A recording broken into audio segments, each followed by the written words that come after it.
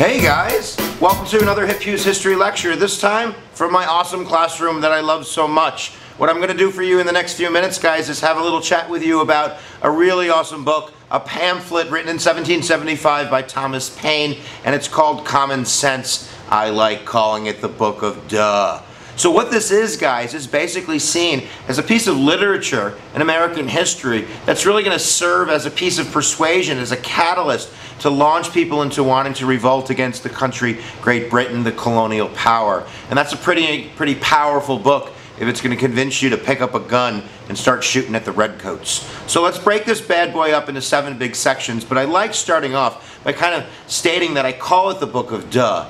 In other analogies, I've talked about Tina Turner and Ike Turner, and this is really the moment, today's world, where Tina would go on Oprah and she'd kind of have that, girl, you need to leave. But of course, we're talking about a book, and Oprah is Thomas Paine. But nevertheless, it's going to have the same type of effect of really kind of waking America up so it's a really great book to get to know, um, and especially if you're writing an essay talking about why the uh, colonists are going to rebel against Great Britain. So seven basic, basic arguments. We'll just kind of break them up right now. Number one. Number one is Great Britain, yo, you an island. What you do an island running a continent? I mean, that's ridiculous. You know, the idea of, let's say, I don't know, Jamaica running Africa.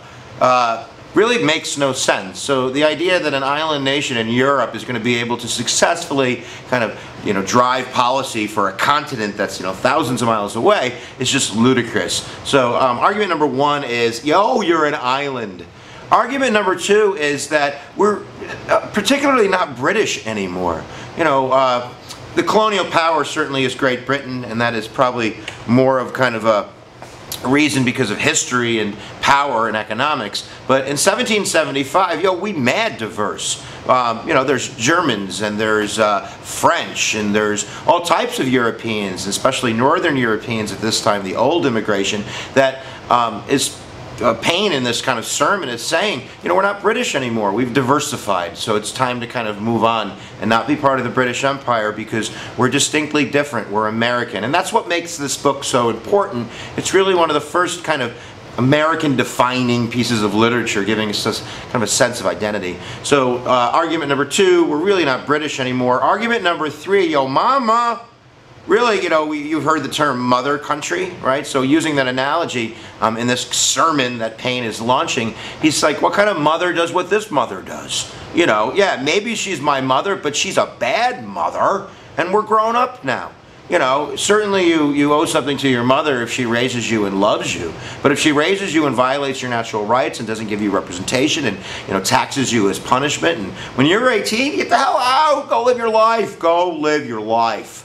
So argument number three is your mama, right? That your mother, if it's a mother country, isn't uh, doing its motherly duties. Number four is bang bang. And this is the concept of European war. Great Britain's in a war like every Monday.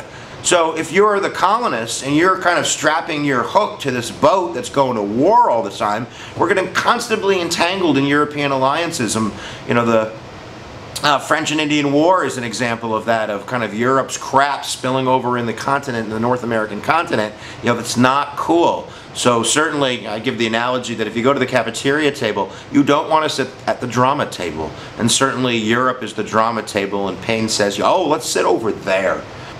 Argument number five is basically the idea of distance. Um, Great Britain is literally 1,000 miles away, and of course there's no internet or phones or even the post office. So therefore communication is a problem, um, and having them deal with us that far away and having that time gap there's going to be certainly problems, just pragmatic problems about dealing with issues. So distance is a big argument that Paine lays out. It's the bell. It's time for school. It's time for learning. Argument number six is the idea of kind of our Puritan heritage, or at least the idea that one of the founding principles of the colonies was kind of serving as a refuge from Europe, and certainly a religious refuge from kind of the Catholic Church and uh, the Church of England. Uh, we're coming over here to separate ourselves from all that drama. So going back to kind of historical context of you know the Puritan foundational stuff, uh, Paine makes that argument um, that that should kind of lead us to the idea that we should we should still be separated, or we should be separated officially. And finally, the last argument, or the seventh argument, is the idea of best interest. And this really goes to colonialism. We are, uh, you know, Great Britain's punk. And Paine says basically that they're never going to have our best interest. They're always going to treat us like a punk because they're always going to be interested in, you know, London before they're going to be interested in Boston.